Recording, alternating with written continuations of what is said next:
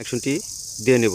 তারপর আমরা এটাতে একটি পিএফ ক্যাপাসিটার সংযোগ দেবো। দেওয়ার পর আমরা এখানে কারেন্টের লাইন বা তার সংযোগ করে দেব।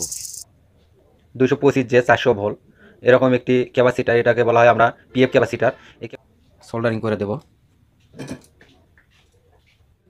আমরা মনোযোগ দিয়ে দেখলে অবশ্যই আপনারা নিজেরাই এই কাজটি করে নিতে পারবেন। সার্কিট বোর্ড তৈরি করেছি আমি। এখানে একটি ক্যাপাসিটার দিয়ে এবং চারটি ডায়োড এবং একটি টু পয়েন্ট টু ওমসের রেজিস্ট্যান্ট দিয়ে একটি বোর্ড তৈরি করেছিলাম। তো সেই ভিডিওটি আমার সম্পূর্ণ ভিডিও দেওয়া হয়েছিল না। তো আজকে আমি আপনাদেরকে সম্পূর্ণ কমপ্লিট একটি ভিডিও দিতে যাচ্ছি। তো দেখতে থাকুন। তো এটি আমি করব কি? তো এরকম একটি বাল্ব এই বাল্বের ভেতরে এটি সেট করে নেব এবং এরপরে একটি নেট তৈরি করব। সেই নেটের সঙ্গে এটি কীভাবে কানেকশন দেবো এবং নেটটি কীভাবে তৈরি করব এবার দেখুন। নেটটি কীভাবে তৈরি করি? এখানে এলইডি লাইটের যে হেডসিংটি দেখতে পাচ্ছেন, এই হেডসিংটি আমি চারটি ফুটো করে নিয়েছি। ফুটো করে নিয়ে আমি করেছি কি দেখতে পাচ্ছেন? যে কলম আছে এদের দেখুন, এই কলম, এই কলমগুলো আমি মাপ মতো কেটে নিয়েছি। চারটে কলম আমি কেটে নিয়েছি, কেটে নিয়ে এখানে ছিদ্র করে ভেতর দিয়ে লাগিয়ে দিয়েছি। এখানে এই পাশটায় আমি গ্লুগামের আটা যে আছে, সেই গ্লুগামের আঠা দিয়ে আটকে দিয়েছি। এই পাশটাও আমি গ্লুগামের আটাটি দিয়ে দেবো। এরপর দেখতে পাচ্ছেন আমার হাতে এখানে জিই তার। এরকম জিই তার নেবেন আপনারা, এটা চব্বিশ নাম্বার জিই তার। বাইরে একটু মোটা, বাইশ নাম্বারটা নিলেও আপনাদের হবে। তো এই জিই তার আমরা করব কি? এখানে রাউন্ড করে পেস পিছিয়ে নেব। সেজন্য করতে হবে কি, আমরা এখানে গ্লুগামটি হিট হয়ে গেছে, আমরা গ্লুগামটি দিয়ে নেই। যেহেতু গ্লুগাম না দিলে আমার এটা নড়াচড়া করলে সমস্যা হবে। যাতে করে এটা নড়াচড়া না করে, যাতে শক্তভাবে এটা আটকে যায়। সে কারণে আমি দুই পাশ থেকে এটাকে ব্যবহার করতেছি আর। আপনারা এভাবে করে নেবেন। এইটা আমার আটা দেওয়া হয়ে গেল। এরপর আমি যে তারটি কেটে নেব। তো আমরা এইভাবে তার নেব। তারটি আমরা করব কি? দুইটি তার নেব আমরা এখানে দেখতে পাচ্ছেন, দুইটি তার নিয়েছি, অর্থাৎ জিএই তার যাকে বলে।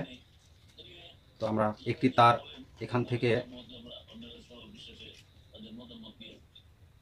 এখানে এটা একটু হালকা সেকা দেবো যাতে এটা এর ভিতরে বসে যায় যাতে নড়াচড়াটি না হয়।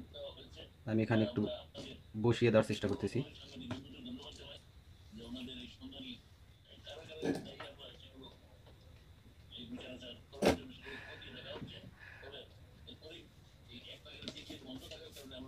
দেখতে পাচ্ছেন, এক- একটা তার আমি এখানে দিয়েছি, আরেকটি তার আমি এখানে দেব। আরেকটি তার আমি এখানে কীভাবে দেব? এই যে।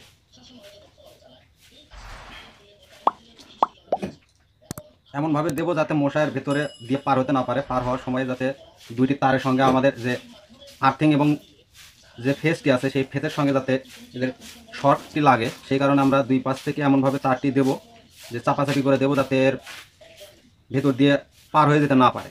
সেই পজিশনে আমরা তারটি দেবো। কারণ এখানে একটি তার হবে আমার আর্থিং, একটি তার হবে আমার ফেস।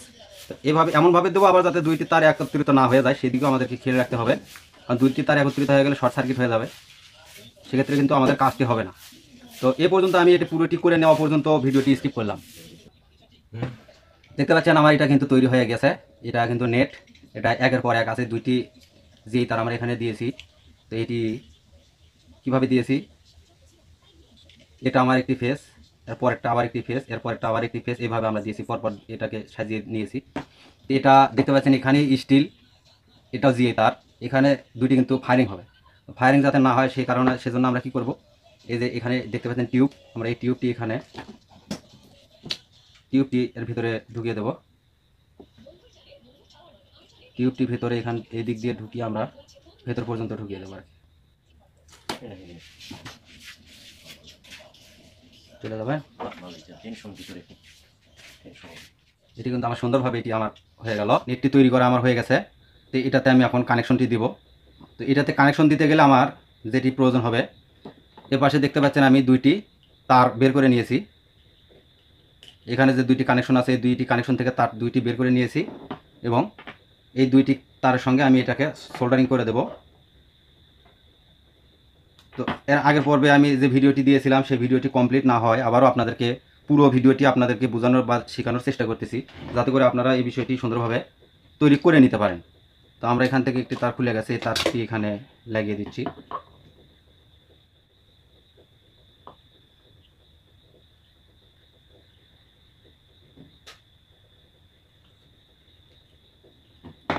এরপর যে এসির যে দুইটি লাইন আছে আপনাদেরকে আগে দেখাছিলাম এই পাশে আমার নেগেটিভ এ পাশে আমার পজিটিভ এবং এই পাশে হবে আমার এসি লাইন, এ পাশেও এসি লাইন। তো এসি লাইনের এক পাশে আমি একটি রেজিস্ট্যান্ট লাগিয়ে নিয়েছি।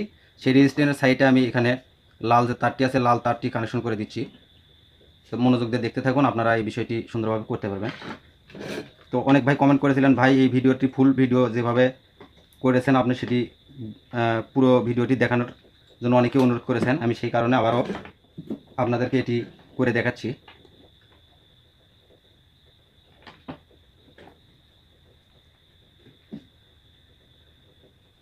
এটাকে আমি এখানে সোল্ডারিং করে দিলাম। এবং এই যে এখানে দেখতে পাচ্ছেন দুইটি তার, আমার মাঝখানে কিন্তু এলইডি একটি লাইট দেওয়া আছে। মাঝখানে যে এলইডি লাইটটি দেওয়া আছে, এই এলইডি লাইটটি অন্ধকারের ভিতরে যখন জ্বলবে, তখন কিন্তু আমার এই লাইটের কাছে মশা চলে আসবে। মশা যখন চলে আসবে, তখন এখানে বাজবে, বাজে ফায়ারিং হবে, তখন মশা মারা যাবে শর্ট খেয়ে মারা যাবে। তো এটি আমি এখানে লাগিয়ে দেবো। সরাসরি এসির সাইড থেকে আমি দুইটি এলইডি লাইটের তারটি আগে সংযোগ করে দেবো। তো এখানে একটি এলইডি লাইটের সঙ্গে আমি রেজিস্ট্যান্ট দিয়েছি, দেখতে পাচ্ছেন?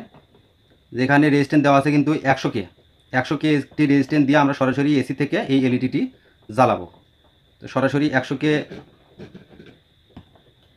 এলইডি এখানে দিয়েছি সরি একশো কে রেজিস্ট্যান্ট এখানে আমি দিয়েছি এবং সেই সঙ্গে আমি এসি লাইনটিও এখানে সংযোগ করে দিচ্ছি। তো আশা করি এবার আপনারা সবাই বুঝতে পারবেন যে আসলে কীভাবে আমি কাজটি করলাম।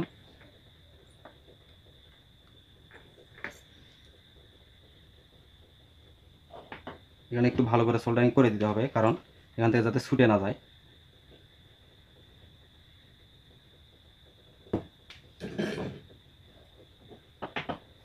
অপর যে লাইনটি আছে সেটিও আমি এখানে এসি লাইনের এই পাশে রেজিস্ট্যান্স দেখতে পাচ্ছেন রেজিস্ট্যান্সের অপর প্রান্তে আমি এটাকে কানেকশনটি করে দেব।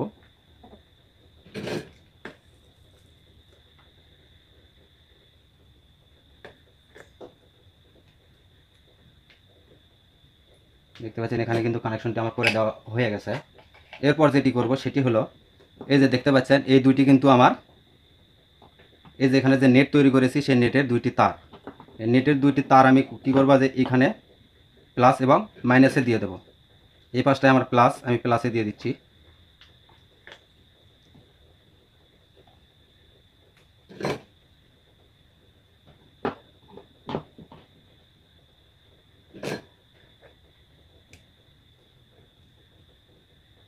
আমার দেওয়া কিন্তু হয়ে গেল।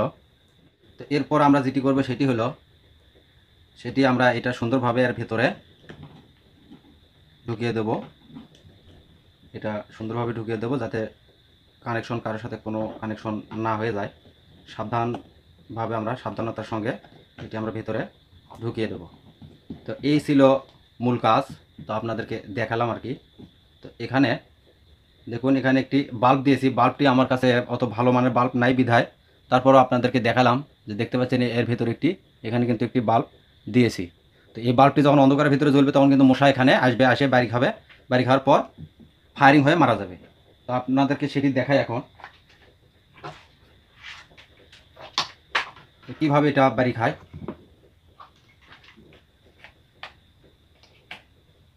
দেখতে পাচ্ছেন, এখানে কিন্তু জ্বলছে। এখানে ক্যামেরার লাইটের কারণে কিন্তু বাল্বটার লাইট অতটা তীব্র দেখা যাচ্ছে না। এখানে অন্ধকার করলে হয়তো বা দেখতে পারবেন।